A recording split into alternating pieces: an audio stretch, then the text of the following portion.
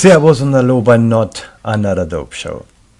Heute erzähle ich euch einmal ein bisschen was über das Schloss Pickel, der Abläufe da, wie das war.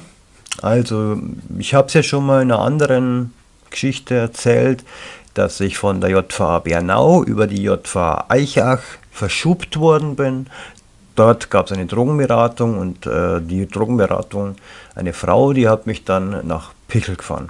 Im Pichel angekommen, musste ich erst einmal meine Sachen auf dem Parkplatz äh, liegen lassen, mit gleich stur, stur mit reinkommen und Urinkontrolle abgeben. Das war das erste Mal, dass ich das. Äh, nein, stimmt nicht. Im Friedberg musste ich das auch machen, Urinkontrolle, genau.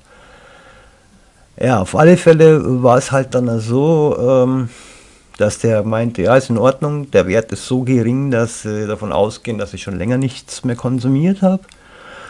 Und dann kamen ein paar Bewohner, die kannte ich aus Neuperlach zufällig. Das war eine jüngere Generation, als wie die, die, die ich war. Ähm, ja, die haben meine Sachen dann gefüllt und dann habe ich ein wunderschönes Zimmer in dem Schloss bekommen mit noch ähm, zwei andere Leute da. Na, hat es nicht lang gedauert, dann kam der Helmut nach, der war auch in Bernau. Den habe ich da kennengelernt nicht mein Cousin, nicht der Helmut, sondern ein anderer. Mit dem zusammen habe ich dann über kurz oder lang ein Zimmer gehabt. Das hat nicht lang gedauert. In Schloss Pichel gab es eine Telefonzelle, wo man raus telefonieren konnte und angerufen werden konnte. Man hat sich auch anrufen lassen können. War natürlich praktisch, weil meine äh, Partnerin, die ich zu dem Zeitpunkt ähm, in Spee hatte, also die heutige Partnerin hatte ich da noch in Spee. Und ähm, ich habe sie halt angerufen mit 20 äh, Cent, ich, nein, Pfennig noch, 20 Pfennig. Und sie hat halt dann zurückgerufen. Und dann haben wir halt stundenlang da quatschen können. Es war halt schon cool irgendwie. Ja. Dem Schloss Pichel, das liegt auf so einer kleinen Insel. Also außenrum ist so ein Burggraben. Da ähm, ist total schön. Und dahinter ist ein kleiner Wald. Das gehört auch zu dem Grundstück dazu. Und ja, man durfte ab der, die normalen Abläufe hatten, die durften da äh, eigentlich erst ab dem dritten Monat oder so drüber, aber die Regeln wurden ja alle kurz bevor ich gekommen bin über Bord geworfen. Es gab keine Regeln mehr, weil alle wollten nach Friedberg, weil die da keine Regeln hatten. Also haben die gesagt, okay, machen wir auch keine Regeln mehr. Die, die harten Regeln, die bei Daytop waren, die will keiner, weißt du. Ja, jetzt war das halt schon interessant, was da jetzt passieren wird. Erstmal habe ich verkürzt, weil ich ja schon so viel Erfahrung mit Therapien habe. Und da gab es dann auch Kleingruppen, wie überall halt, und Einzelgespräche mit Therapeuten. Und ich habe mich mehr auf diese Einzelgespräche konzentriert, weil die Gruppendinger, die, ja, waren für mich halt nicht mehr ganz so. Das haben wir dann auch so besprochen, dass äh, diese Gruppennummern ich nicht mitmache dass ich verkürzt und dafür doppelte Einzelgespräche kriege. Und das war dann auch so, habe ich bekommen. Ja. Und meine äh, Partnerin hat mich dann auch dort besucht und da haben wir das dann auch mehr oder weniger besiegelt. Da war für mich dann auch klar, dass ich nach Berlin ziehe. Ab dem Zeitpunkt war es 100%ig klar.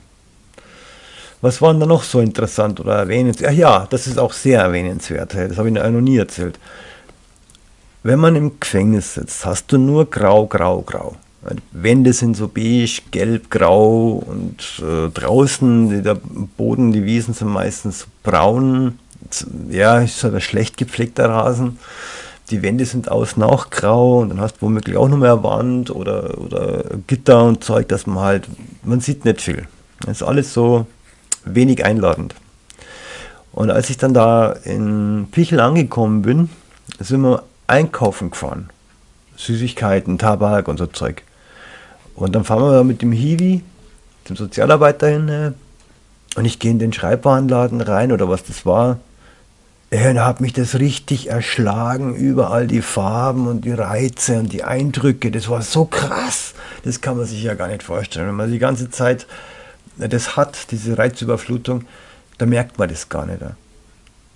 Wenn man sich aber Zeit lang da rausnimmt halbes Jahr oder so oder Jahr, dann ist das extrem, hey, wie man das dann plötzlich wieder wahrnimmt.